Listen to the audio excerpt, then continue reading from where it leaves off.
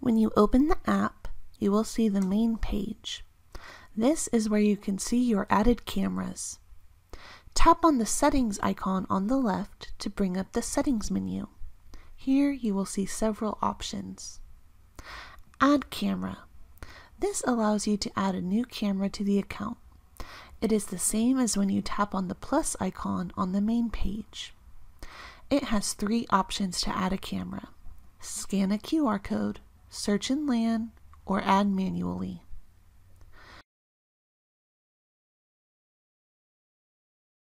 Album. Here you can see the pictures and videos for each camera that you have manually recorded via the FOSCAM app. Messages. Here you will see messages sent by FOSCAM, such as a cloud service promotion. Cloud service. Here you can view an introduction of the FOSCAM cloud service and purchase a cloud subscription. My plan. This page shows you the cloud service plans linked with your account. You can view by unpaid, paid, and closed plans. Support. Here you can view online FAQs and support contact information. Just tap on the phone number to call our support team, or you can choose to email FOSCAM support. App settings. This is where you can find options for managing your app. To limit data usage, you can choose Wi-Fi only for video streaming. If you would like to use mobile data to view your video stream, turn this option off. If you have chosen to receive notifications when you receive an alarm alert, you can choose which cameras are allowed to send you push messages. You can give us a rating in the App Store or Google Play Store. Here, you can also update your app. Choose Sign Out to sign out of the FOSCAM app.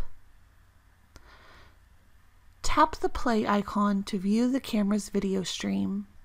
On the live video page, you can control the camera directly. Turn on audio to hear the camera sound.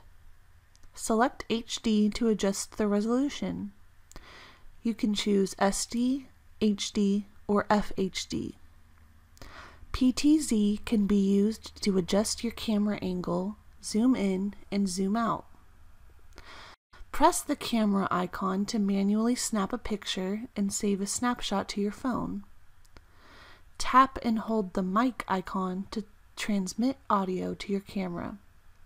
The first time you do this, you will need to allow the app to use the microphone of your smartphone. Tap record to manually record video and save it to your phone. Tap record again to stop the recording. Tap the three dots to bring up more options.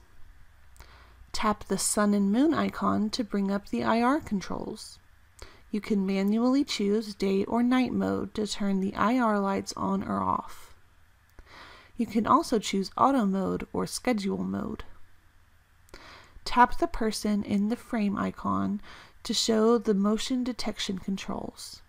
Here, you can easily turn on or off sound and motion detection. Tap the mirror icon to flip or mirror the image as needed. Tap the settings icon on the top of this page. You can see all menus of the camera. In My Plan, you can see all cloud service plans associated with the selected camera, including paid, unpaid, and closed accounts. In Camera Info, you can rename the camera, view the model number, UID, MAC ID, and current firmware version. In Firmware Upgrade, you can check to be sure you are using the latest firmware version or update your camera. In Network, you can set the Wi-Fi network you would like the camera to connect to. You can press camera speaker volume and use the slider to adjust the camera speaker volume. Please note that only a few models support this feature. Under Alarm Settings, you can turn motion and audio alarms on and off, set the sensitivity, set the trigger intervals, and set an alarm schedule for when you would like the alarm to be triggered.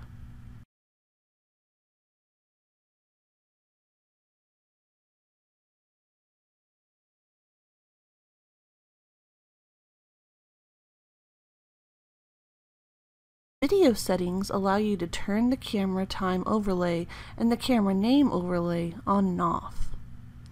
Network auto adaptability allows the camera to adjust the video resolution according to the network status and strength.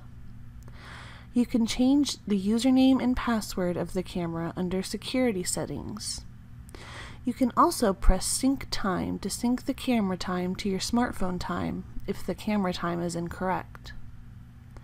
In IR LED schedule, you can schedule the IR lights to automatically turn on and off at a certain time. Under prompt settings, you can turn status LED on the camera on or off, and you can turn the voice prompt feature on or off. Please note that only a few models support this feature. Finally, you can delete your camera from the app.